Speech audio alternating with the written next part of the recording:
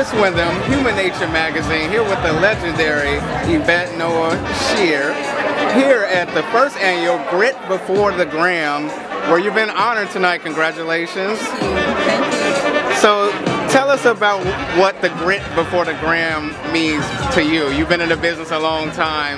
You know, can you just share a, a little bit about your journey and what that means to you? Well, first I think it means that there are women behind the scenes Yes.